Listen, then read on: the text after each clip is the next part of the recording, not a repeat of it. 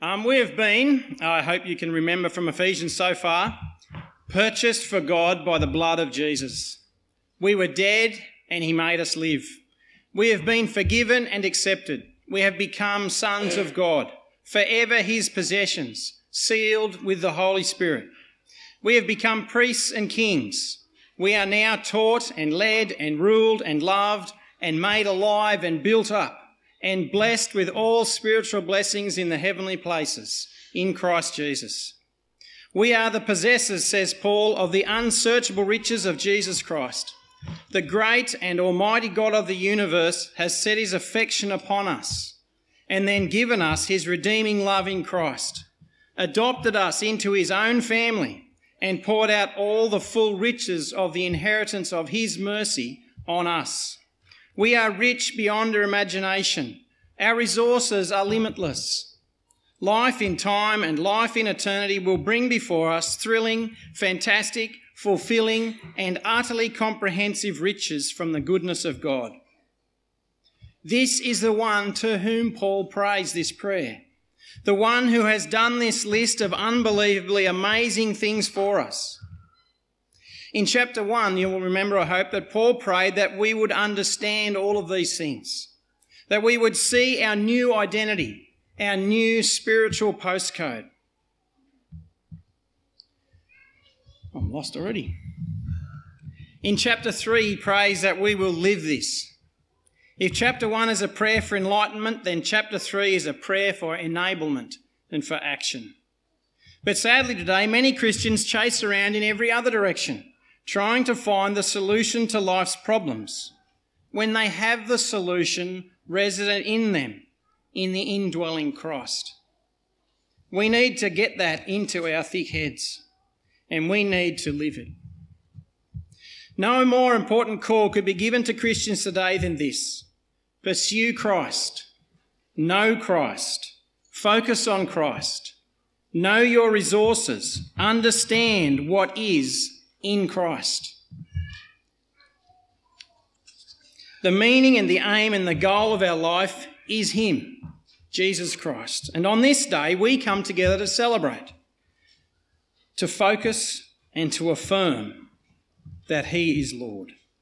The world outside, a world with no meaning, knows nothing of us inside. We gather in places like this to celebrate the meaning that we have found in Jesus Christ. Christ has given us meaning. Christ has given us life. Christ has given us everything we need. Before Christ and without Christ, man is without form and void and meaningless. In Christ, life becomes solid, full, and full of meaning. And you need nothing more than Christ. If you have problems in your life, things that you can't cope with, and we all do, anxieties that you can't deliver yourself from, it isn't because you haven't found the right formula, or you haven't been to the right seminar, or you haven't read the right book. It is that you haven't yet learned how to use the resources that are yours already, resident within you because Jesus Christ is in you. So that is Paul's heart as he comes to chapter 3 in this prayer. Let's hear what he says, starting in verse 14. Now, I'm going to read off the sheet. You can follow either way. Ephesians 3, verse 14. For this reason I bow my knees before the Father, from whom every family in heaven and on earth is named. I pray that he may grant you, according to the riches of his glory, to be strengthened with power through his Spirit in the inner man, and that the Messiah may dwell in your hearts through faith I pray that you, being rooted and firmly established in love, may be able to comprehend with all the saints what is the breadth and width, height and depth, and to know the Messiah's love that surpasses knowledge, so you may be filled with all the fullness of God. Now to him who is able to do above and beyond all that we ask or think, according to the power that works in you, to him be glory in the church and in Christ Jesus to all generations, forever and ever. Amen. Well, what a prayer. Bernard said to the kids it was a big prayer. Well, it's not a very long prayer, but it is a massive prayer.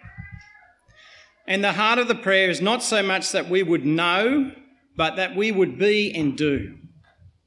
The goal of Paul's prayer is there in verse 19 in the box on the sheet that we might be filled with the fullness of God, so that we might come to the place where the power of God within us is doing things that exceed even our wildest imagination. There in verse 20. he prays here that a series of great truths, great spiritual realities, will take place in our lives so that we will display his glory in verse 21. Now, what prompts this prayer is a little bit indicated in the phrase of verse 14 for this reason. He could be talking about going back to the end of chapter 2, as I think Brent alluded to last week, but there's not much agreement from commentators on this. But Calvin, among others, goes, only goes back to verse 13, so he'll do it for me. He says in Paul says in verse 13, I don't want you to be discouraged. Literally, I don't want you to faint. Even Christians tremble and shake and become anxious and burdened and concerned, and they can't resolve their problems and they can't control their environment and they can't get charge of their circumstances. And life can be like that, can't it? But Paul is saying, look, I don't want you to be the kind of people who are discouraged because of my trouble. Paul is in prison. He's under house arrest, but he doesn't want them to faint, to be disheartened, or to despair because of that.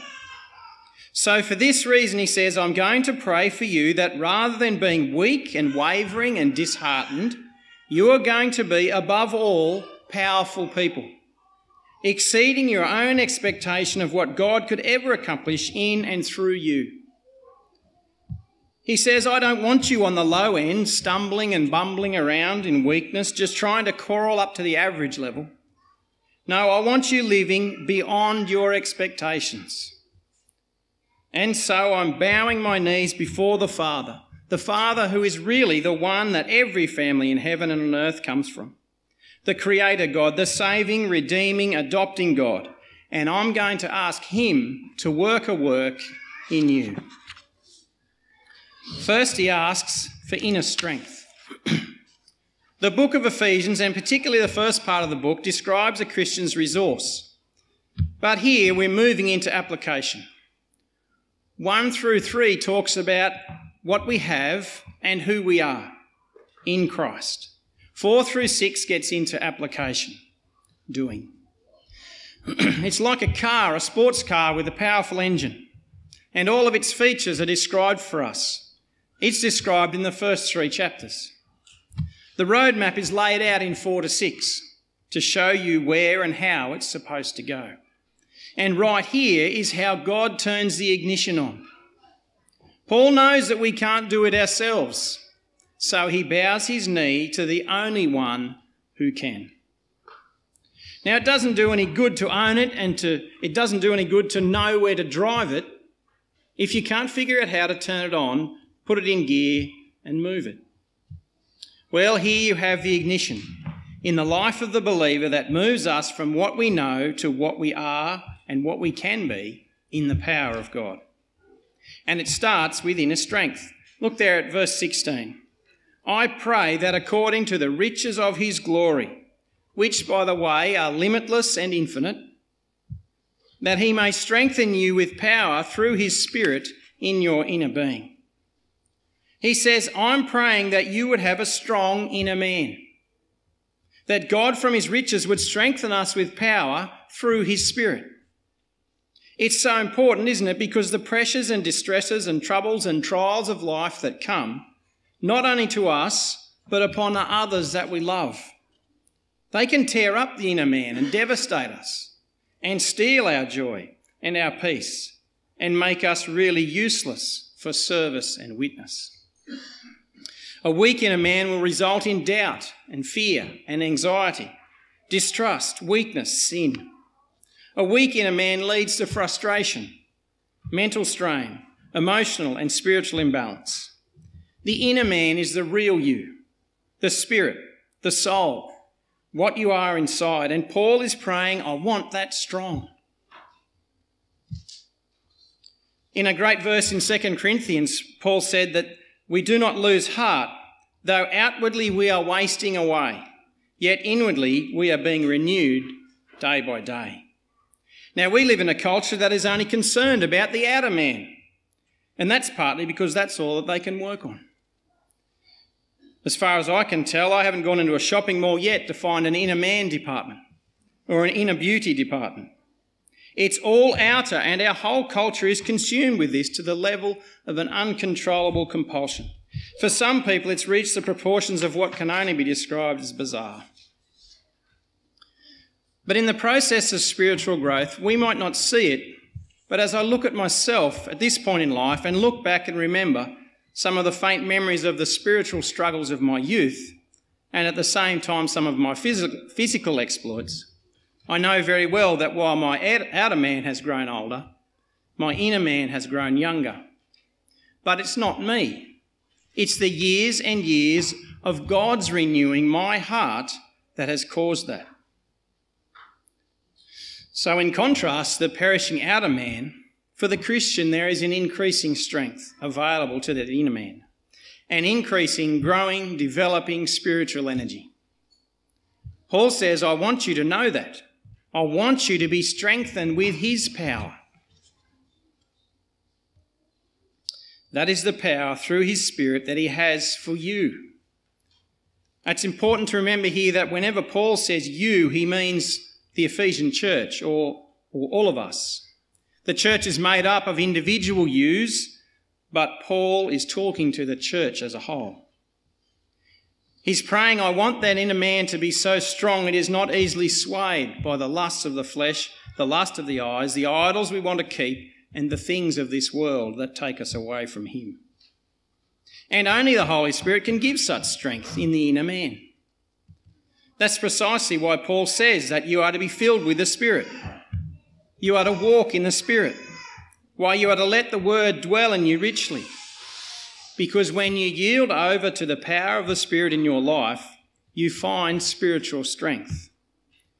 Because, as Acts 1 verse 8 says, you will receive power after the Holy Spirit has come upon you. The Holy Spirit is in you in Christ. Paul prays that believers will take hold of that. Romans 8, verse 9 says that every Christian possesses the Holy Spirit. With the Holy Spirit comes power. But it's a matter of feeding that inner man on the richness of the Word of God every day, which leads us to the mind of the Spirit, which leads us to yielding to the Spirit and walking in the Spirit and being filled with the Spirit. Paul says that we've all been made to drink the one Spirit. For some of us, though, it's a long time between sips, isn't it? It's amazing how many people never miss their protein shake or that funny looking green drink or their coffee. But when it comes to drinking in the refreshing, truly life giving Word of God and the power of the Spirit of God, they miss that a lot. It's one thing to understand your riches in Christ, it's something else to get the ignition on and to get all this power and all this resource and all these riches turned on and moving. It's not much good knowing the first two chapters of Ephesians if you can't get that into practice. And it starts by being strong in the inner man, which means that you are controlled by the Word and the Spirit. That leads to his second request. As well as a strong inner man, verse 17 asks that Christ may dwell in your hearts through faith. Now, you might say, well, hang on, how can I have a strong inner man if Christ doesn't already dwell in my heart by faith? Well, that's a good question, but he's not talking here about salvation. I think you have to take a closer look at the verb dwell.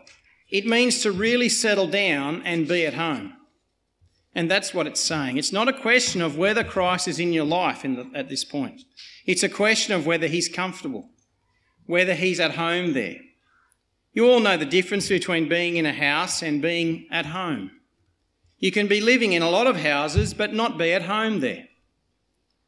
I can settle down and be at home in my house because I don't have to fight the battles there. The battles are in the paddock or down the street. sometimes in the office, sure. But home is a place of comfort, it's a place of tranquility, it's a place of peace, it's a place of quietness. And that's what it means to dwell. That's what it means to settle down and be at rest. And what Paul's after here is that we as believers have so submitted ourselves to the power of the Holy Spirit, expressed through the Word of God, to create a strong inner man that Christ dwelling in us can settle down and be at rest, be at home, dwell there. So the question we should ask is Is Jesus comfortable in my heart? Is he at home there? Have you submitted to your new landlord? Is your house, your heart clean and orderly the way it should be, so that Christ doesn't have to fix this and fix that, adjust this and deal with that? cope with this and confront that, but instead he can settle down and dwell there. What does he find, for example, when he looks in the lounge room or your computer's browser history? John Piper believes the biggest impediment to theological graduates undertaking mission or ministry work is the guilt that is in their heart from what they have seen online or watched on late night television. You see, the Lordship of Christ extends through every part of our lives. He wants it all. And if He has it all, He can settle down and be at home. If you ever want to experience the power of God in your life, it starts by a strong inner man where the Spirit of God is applying the Word of God in a cleansing way, and that empowers you. And in that kind of experience, the Lord can dwell, settle down, and be at home in your life. a third request, uh, the middle of verse 17. I pray that you, being rooted and firmly established in love, may be able to comprehend with all the saints what is the breadth and width, height and depth, and to know the Messiah's love that surpasses knowledge.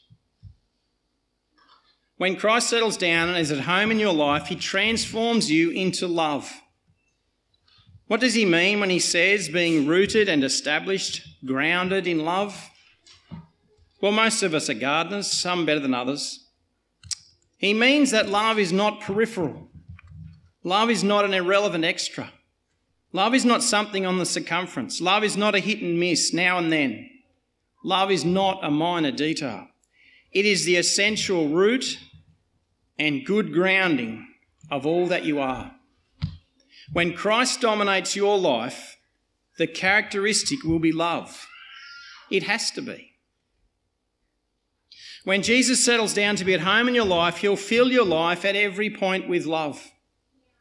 And you will be established solidly in love as a way of life. A love that is deep and secure through all kinds of winds and all kinds of shakings and all kinds of offences. And you will experience love. And not only will you experience it, but Paul wants you to comprehend it. Verse 18 uh, says grasp in the NIV, but understand or comprehend is a better word. The word means to seize or to apprehend, a really strong word, to take and make your own possession, along with all the saints. It's the common property of all God's children, of all his household. You'll comprehend it. You'll comprehend its breadth and width and height and depth. And you will know the love of Christ which surpasses knowledge. You will know what you can't know any other way. You'll know what can't be explained by human mouths. The only way to know it is to experience it. When Christ settles down to be at home in your life, your life becomes dominated by a love which is incomprehensible apart from experiencing it. And it isn't going to come to you through some rational means. That must be obvious. It's going to come to you through Christ. Every survey anywhere always says the greatest thing in the world is to be loved, to be loved, or to love. The greatest emotion in the world is to feel love. It's the most exhilarating and wonderful feeling there is. And that is precisely what a Christian experiences who is totally claimed by God and purged of the old and then filled with the love of Christ. Um, just quickly, I think it's pretty obvious, but what he's trying to say by the breadth and the width and height and depth is to just describe the limitless aspects of God's love. Just to take it as far as it can be taken to the limitless sky above, to the limitless horizons on every side, to the limitless depths beneath. Love extends on and on into infinity, into eternity. So Paul prays that we will have the deep experienced knowledge, the exhilarating joy of knowing that we are loved by the love of God through Christ, a comprehension of its infinity, a comprehension that escapes every human being except those who are rooted and grounded in it, because Christ is at home in them, because they are strong in the inner man. And that leads to the end point of the prayer, the end result, verse 19 that you may be filled with the fullness of God.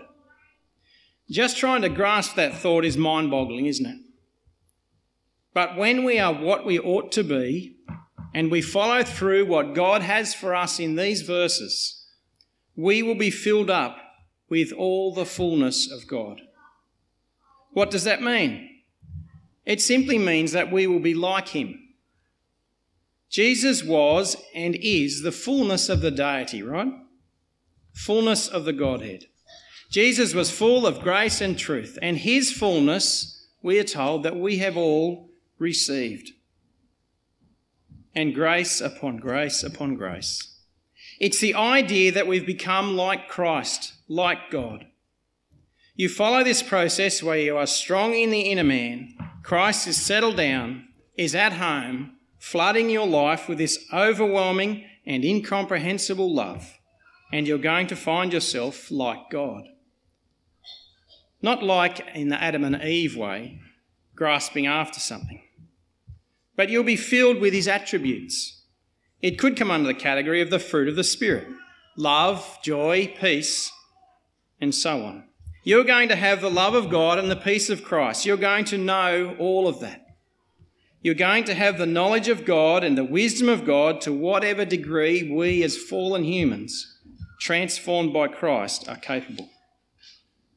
Now, when it says you are filled up with the fullness of God, it doesn't mean you become God. It simply means that the essence of who God is in His glory is going to be filling your life. If I go down to the ocean, or if Bernard goes down to the ocean this week, I take a glass and I scoop up some of the ocean. It wouldn't be right to say that the entire Pacific Ocean is in my glass, because there's much, much more. It is vast and vastly beyond my glass. All of the ocean is not in my glass, but all that the ocean is, is in my glass. The essence of what it is is contained there, just as God is in his children. That is such a wonderful and radical and transforming prayer, isn't it? How in heaven and earth is such a prayer possible? Can God even do something like this?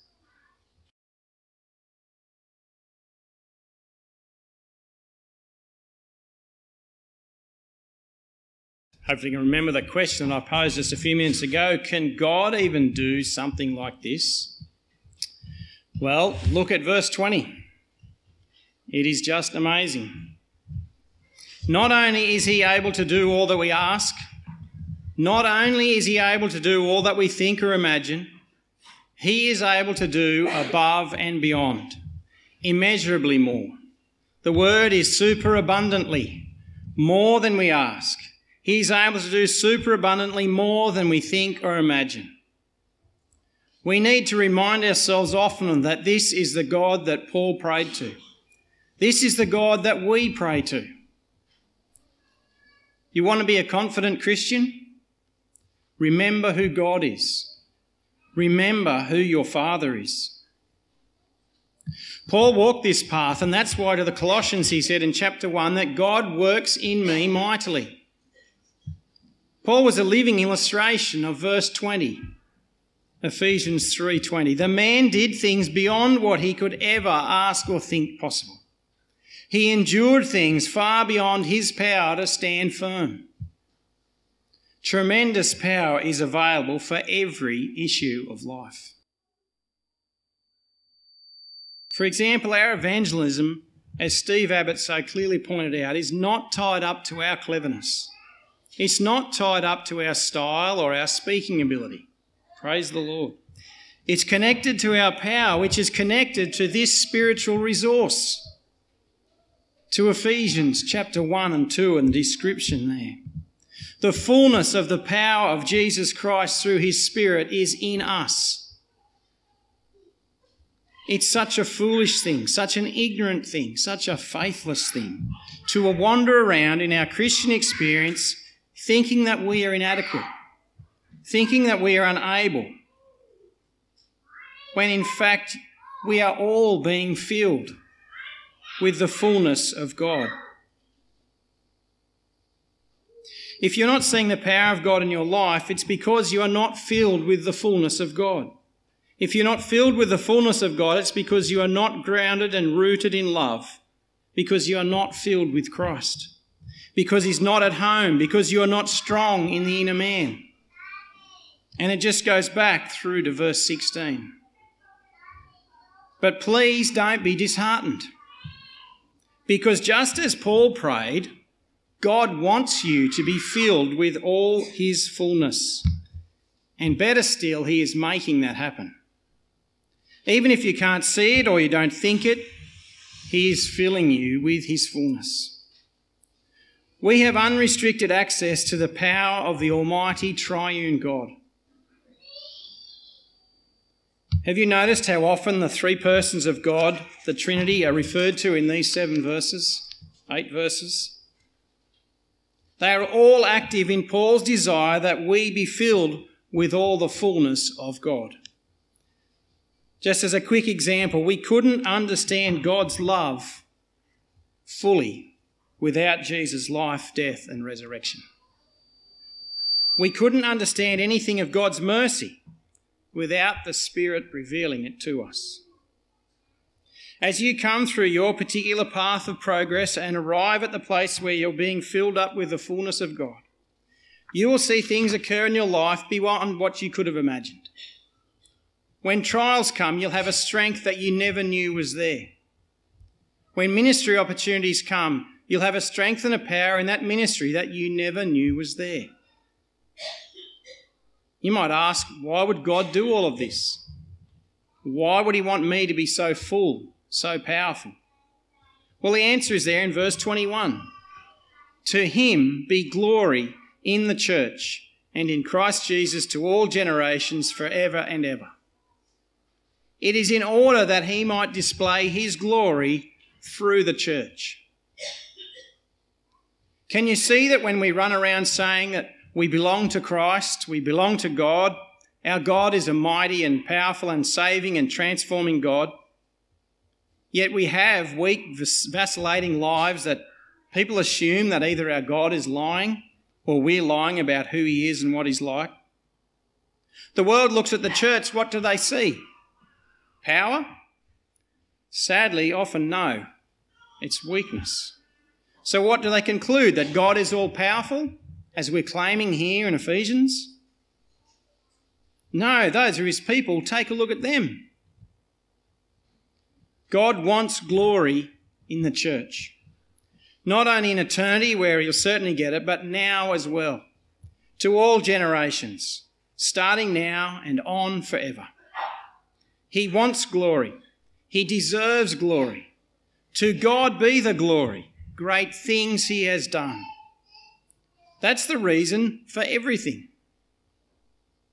So, my prayer for you, that is, you as individuals, and especially you as the church, is that you will be to the glory of God, that you will bring him praise and honour and respect and admiration from the people who see you and conclude that he is indeed a powerful, mighty, saving, transforming God. Let's pray. Heavenly Father, thank you for the great truths that um, are in Ephesians about you, about what you are like, about what you have done for us. Father, forgive us for being poor, uh, poor examples, poor shining lights um, for your name. Father, help us to learn from Ephesians, to learn from Paul, to learn from your Holy Spirit what it means to be your children and to live like we are. Amen.